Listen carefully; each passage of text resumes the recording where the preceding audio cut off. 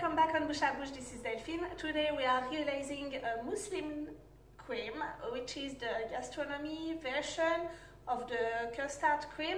You can use this mousseline in cake like Paris-Brest, Mocha, uh, Fraisier, Bavaria. Uh, you can replace your buttercream with. It's a very nice cream. If you enjoyed this video, please subscribe to my YouTube channel. Yummy! To realize a mousseline cream, you will need 4 yolks, 200 grams of butter, 180 grams of castor sugar, 30 grams of plain flour and 40 grams of corn flour. Some flavor uh, like syrup or anything, I will use vanilla and 500 milliliters of milk. Okay, step one, you put your milk in a pan and you warm it with the vanilla or your flour in there.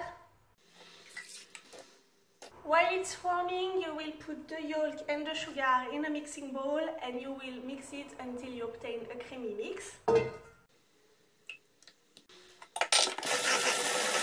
Once it's creamy, you add drop by drop your uh, flour and corn flour and you keep mixing. Once it's smooth, you will add in there half of the milk and you put it back on the heat and you mix.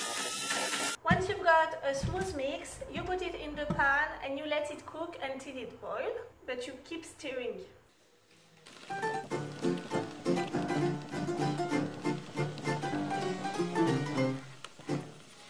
Once it's boiled, you just take it off the heat. And you will add in the mix half of the butter, so 100 grams, and you cut it into this dice and you incorporate it slowly in your mousseline. Once the butter is melt, you just leave the mousseline chilled a little bit. While it's chilling, you just knead uh, your butter.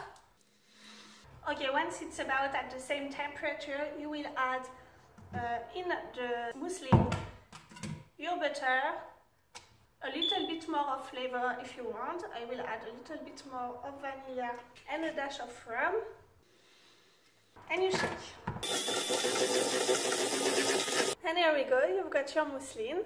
Uh, you should better leave it chill a little bit before you use it, one hour in the fridge. I hope you will enjoy this recipe and I'll see you later for a new one on à Bouche. Bye bye!